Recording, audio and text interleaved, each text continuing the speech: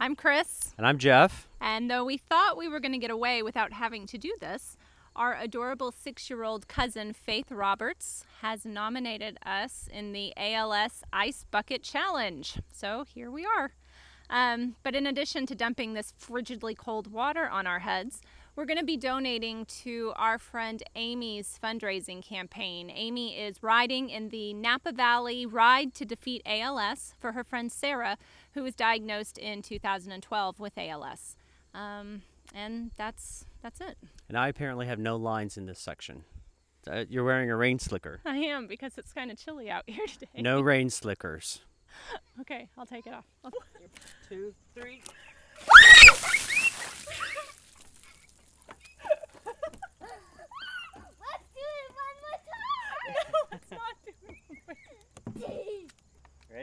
Ready? Okay. One, two.